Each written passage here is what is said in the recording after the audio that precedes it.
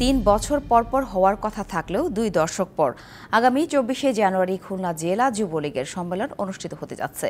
সাধারণ সম্পাদক ও সভাপতি পদপ্রত্যাশী প্রায় দেড় ডজন নেতা প্রতিযোগিতায় নেমেছেন। সংগঠনকে গতিশীল রাখতে নির্দিষ্ট সময়ে সম্মেলনের প্রতি প্রয়োজনীয়তার কথা বলছেন নেতৃত্ব প্রত্যাশীরা।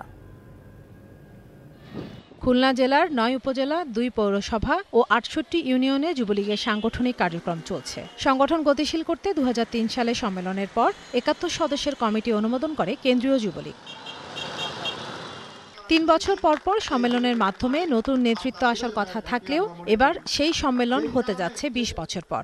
দীর্ঘদিন পর সম্মেলনের খবরে উজ্জীবিত নেতাকর্মীরা। জানা গেছে জেলা যুবলীগের সভাপতি ও সাধারণ সম্পাদক পদের জন্য প্রতিযোগিতায় নেমেছেন প্রায় দেড় ডজন নেতা।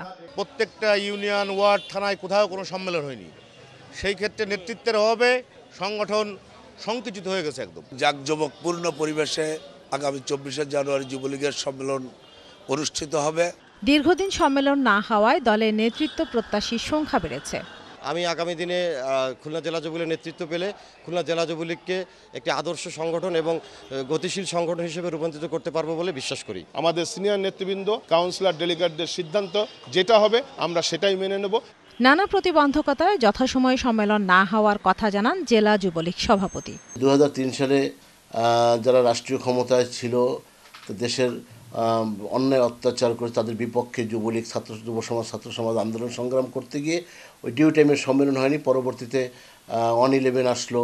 তারপর যে আপনার করোনা দুই বছর গেল। এসব কারণে যুবলীগের ডিউ টাইমের সম্মেলন হয়নি। এই সম্মেলনের মধ্য দিয়ে যোগ্য নেতৃত্ব বেরিয়ে আসবে যারা সংগঠনকে গতিশীল করবে। এমন প্রত্যাশা তৃণমূলের। ডিবিসি নিউজ ডেস্ক ঢালাইয়ের সেরা প্রিমিয়ার সিমেন্ট